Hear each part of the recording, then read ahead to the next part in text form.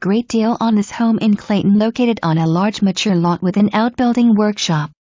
The home features three bedrooms, two full bathrooms, open concept kitchen living room area, family room, laundry room, and a large mater suite west double closets. Won't last long at this price.